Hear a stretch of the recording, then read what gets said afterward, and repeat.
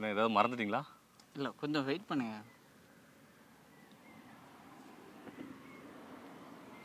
வேணா கட் பண்ணிட்டீங்களா? இருங்க சேர்லாம் எம்டியாக இருக்கு. ஓ. நீங்க ஆ, அதாவது- மட்டும் பேச வந்திருக்கீங்களா? புரியுது புரியுது புரியுது. அதாவது தம்பி என்ன சொல்ல வரணும்னா நான் மட்டும் இல்லைங்க இங்க ஒரு டீமே இருக்கு. டீமே உட்கார வச்சு கூப்பிடுவோம் ஆ டீமே உட்கார வச்சு பேசணும்னு சொல்றாப்ல. கூப்பிடுங்க நீங்களே உங்க டீமை கூப்பிடுங்க. ஓகே. உங்களோட பேரு. அதுக்கப்புறம் உங்க டீம்ல இருக்க பசங்களோட பேர். ஓகே. இதை மட்டும் ஃபர்ஸ்ட் ஸ்டார்ட் பண்ணி சொல்லுவோம். அப்புறம் உங்க ஊர் எங்க இருக்கு? அதை மட்டும் சொல்லலாம். ஓகே. எல்லாருக்கும் வணக்கம். என்னோட பேர் பார்த்தீங்கன்னா சரவணன்.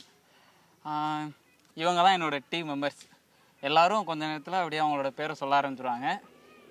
சொல்லுங்க வரிசையா நீங்க சொல்லு தம்பி. என்னோட பேர் வந்து அர்ச்சுனன் அர்ச்சுனன் என் பேர் மாரிமுத்து. என் பேர் விஎம் பழனி. என் பேர் நல்ல தம்பி. கடைசியாக தான் வந்து சேர்ந்தாரு. ஆமாம் அதாவது ஏன்னா அவங்க கிட்ட. அவங்க கிட்ட மைக் இல்ல. கோபால் நல்ல தம்பி பழனி பழனிக்குமார் மாரி. மாரி அர்ஜுன் அவங்க அவங்க வந்து அம்மா. அம்மா. எங்களோட என்னோட அம்மா முத்துக்கண்ணு. முத்துக்கண்ணி. ஓகே. இவ இதான் இவங்களோட டீமு இதை வச்சு தான் வந்து இன்ஸ்டாகிராம் மோஜி எல்லாத்துலேயும் போட்டு ஒரு கலக்கு கலக்கிட்டு இருக்காங்க சரி உங்களை பற்றி நீங்கள் சொல்லுங்கள் நீங்கள் என்ன பண்ணிட்டு இருக்கீங்க இந்த வீடியோ விட்டுரும் நம்ம வீடியோக்குள்ளே அப்புறம் வருவோம். இப்போ இன்ஸ்டாகிராம் இதெல்லாம் விட்டுருங்க. சோஷியல் மீடியாவே மறந்துடுங்க ஓகே சோஷியல் மீடியா இல்லாமல் சரண் யார்? சரண். நான் வந்து நார்மலாக ஒரு நார்மலான குடும்பத்திலேருந்து பிறந்தவனா. நான் ஸ்டார்டிங் ஸ்டேஜில் வந்து நான் எல்லா வேலைக்கும் போவேன். நான் நார்மலாக சென்ட்ரிங் வேலைக்கு போவேன். அப்புறம் வந்து எனக்கு கிடைக்கிற வேலைக்கு ஒரு நூறுரூவா கொடுக்கணும்னா நான் அது இது மாதிரி எல்லா வேலையும் போயிட்டு பார்த்துட்டு பண்ணிக்கிட்டு இருந்தேன். அதுக்கப்புறம் கொஞ்ச நாள் ஒரு ஒரு பிஸ்னஸ் மூலியமாக போயிட்டு பிஸ்னஸ் பண்ணால் தான் நீ சம்பாதிக்க முடியுன்ற ஒரு நிறைய நாலேஜ்லாம் கற்றுக்கிட்டேன் சரி ஓகே நம்ம பிஸ்னஸே பண்ணுவோம் அப்படின்ட்டு நான் வந்தேன். கொஞ்ச நாள்ல இருந்து நான் ஒரு எங்கள் வீட்டில் சொந்தமாக ஒரு கடையை வச்சேன். சரி நம்ம அந்த பொட்டி கடையை வச்சு ஸ்டார்ட் பண்ணோம் அப்படின்ட்டு ஸ்டார்ட் பண்ணேன். எனக்கு இதுக்கு முன்னாடி நான் சென்ட்ரிங் வேலைக்கு போனேன். அடுத்து இன்னும் கொத்தனார் சித்தல் நிறைய வேலைக்கு போகும்போதே எனக்கு ஒரு ஐடியா இருந்துச்சு. நம்ம ஏன் இப்படியே இருக்கோம்? நம்ம வெளியில் யா யாருக்குமே தெரிய மாட்டோம். இப்போ நம்ம இப்படி இருக்கும்போது நம்ம ஊருக்குள்ளே மட்டும்தான் தெரியிறோம்.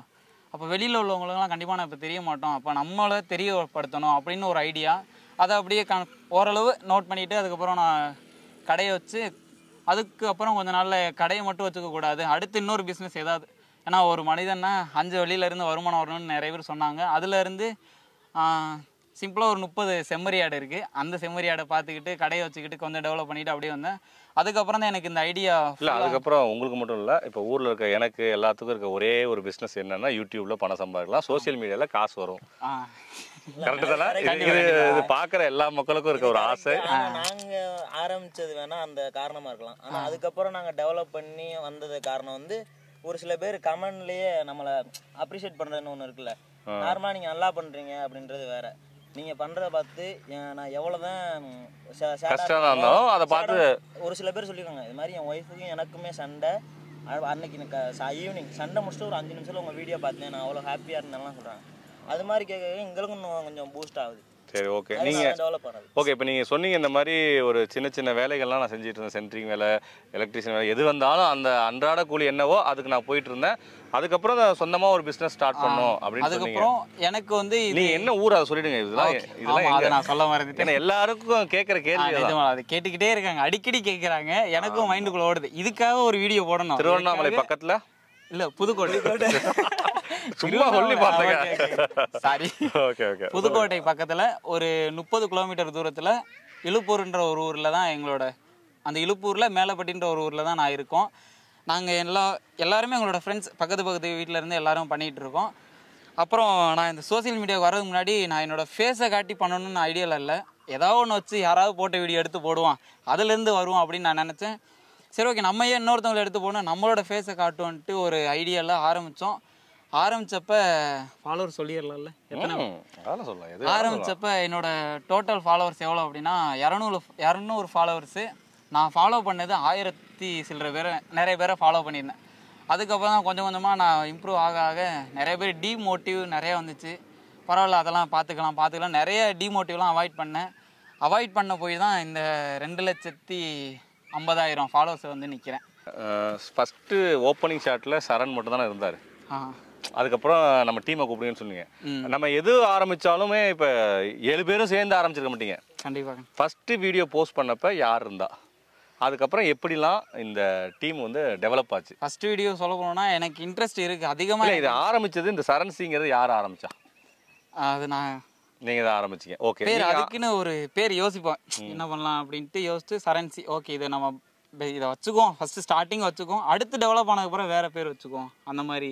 ஸோ அதுக்கப்புறம் இந்த சரண் சி கூட யார் ஆட் ஆனா? ஃபர்ஸ்ட் ஃபர்ஸ்ட் யார் உங்க கூட ஆட் ஆனா?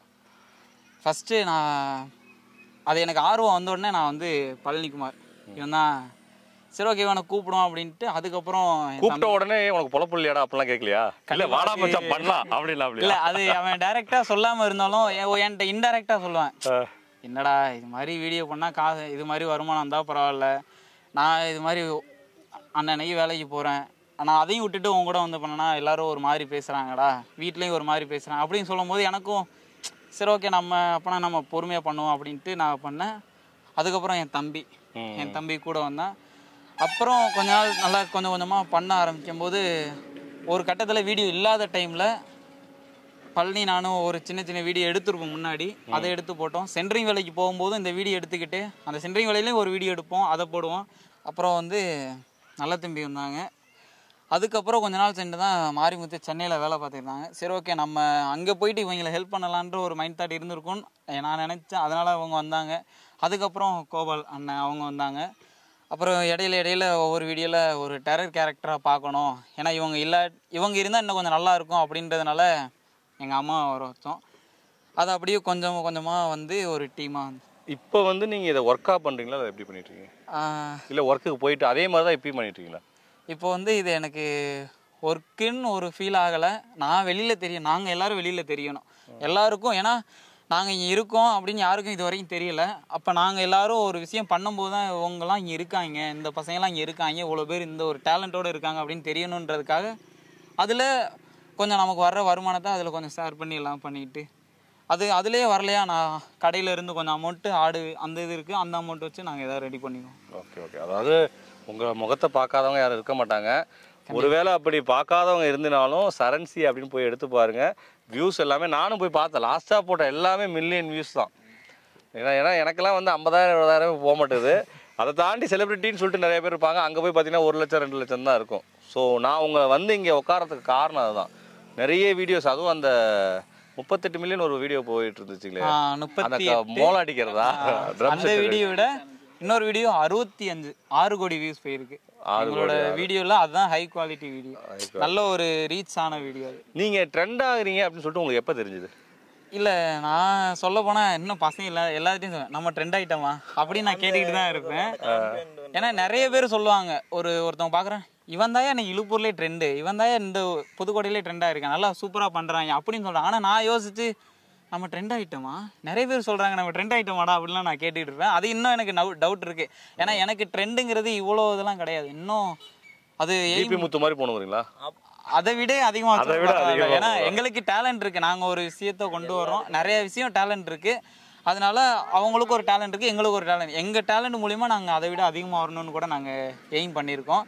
அதனால அந்த ஒரு லெவலுக்கு வந்ததுக்கு அப்புறம் தான் இந்த கண்டென்ட் எங்கேருந்து நீங்க எடுக்கிறீங்க?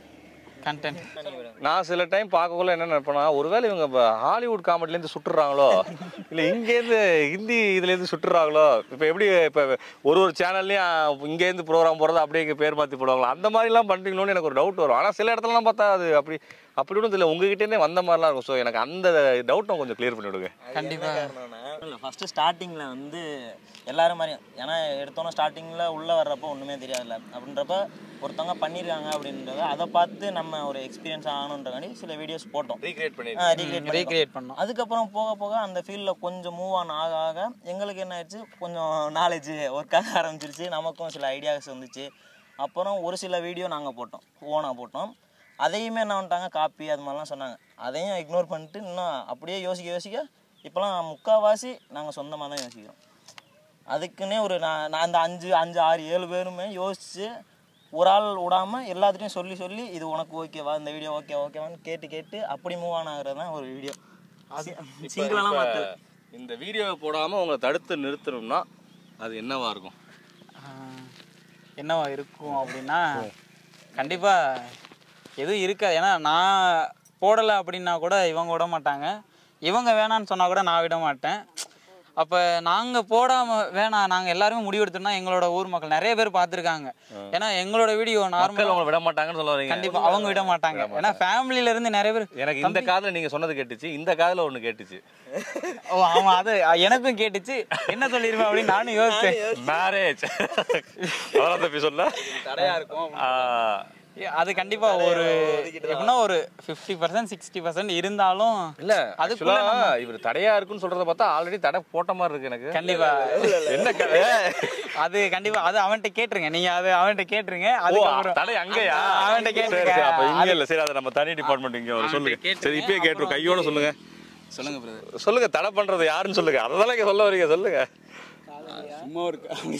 காமெடிக்கு சொல்லிருமா வந்து என்னன்னா எத்தனை வருஷமா? இருக்கலாமோ சரி ஓகே எத்தனை வருஷமா உங்க நீங்க லவ் பண்றீங்க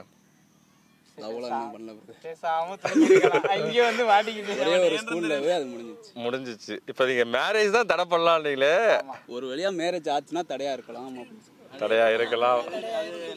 நாங்கள் எல்லாரும் பேசுகிறது தான்.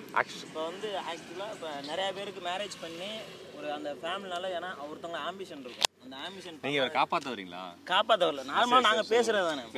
நான் இப்போ எனக்கு இது ஒரே ஒரு அதாவது ஃபர்ஸ்ட் தம்பி சொன்னப்ப ரைட்டா எனக்கு வந்துருச்சு. சைடுல இவர் சிக்னல் கொடுத்தப்ப எனக்கு கன்ஃபார்ம் ஆயிடுச்சு. அது இப்ப சீர்திருத்தம் பண்றாங்க. அது சில ஏன் ஏன்னா நாங்கள் பேசுகிற நார்மலாக இப்போ ஜாலியாக பேசுகிறப்போ ஒரு சில விஷயம் பேசுவோம்ல. அது மாதிரி நாங்கள் பேசுகிறது கல்யாணம் ஆயிடுச்சுன்னா இவன் அப்படி போயிடுவான். இல்லை நாங்கள் இப்படி போயிடுவோம் அப்படின்ற மாதிரி பேசுவோம். ஆனால் அது இன்னொரு ஆங்கிளில் நாங்கள் யோசிக்கிறப்ப என்னாங்கன்னா ஆல்ரெடி எங்களுக்கு முன்னாடி நிறைய பேருக்கு கல்யாணம் இருக்கும்ல. அவங்கெல்லாம் பார்த்து என்ன தோணும்? இது மாதிரி உங்கள் கல்யாணம் ஆச்சுன்னா ஓ உங்கள் ஆம்பிஷன் இது வச்சுருப்பாங்க. ஆனால் அது நடக்காமல் இருக்கும். அது காரணம் பார்த்தா கல்யாணம் மேரேஜ் பண்ணிட்டாங்க அவங்க ஃபேமிலி இதை பார்க்குறாங்கல்ல அப்படின்ற மாதிரி. உங்களோட இலக்கு. ஸ்டார்டிங்கே சொல்லியிருப்பேன். நாங்கள் எல்லாருக்கும் ரீச் ஆகணும். எல்லாருக்கும் தெரியணும். இலக்குனா நீங்கள் சொன்ன மாதிரி இந்த படத்தில் ஒரு இது ஏதாவது ஒரு சான்ஸ் மூலியமாக எங்களை நான் போயிட மாட்டோமா? நாங்கள் நாலு பேருக்கு தெரிய மாட்டோமா? அந்த ஒரு இலக்கு ஒன்று இருக்குது டென் எம் அது ஒரே அப்படியே லெவல்னா ஒரு மிஸ்டர் பீஸ்ட் லெவல் போனால் கூட நல்லா தான் இருக்கும். இல்ல அதுக்கு தகுதியான அது மாதிரி எல்லாருமே. கூட நல்லா இருக்கும் அதாவது நீங்க ந- நிறைய சப்போர்ட் பண்ணீங்க போனீங்க அப்படிலாம் தம்பி சொன்னாப்ல. நீ உண்மையை சொல்லணும்.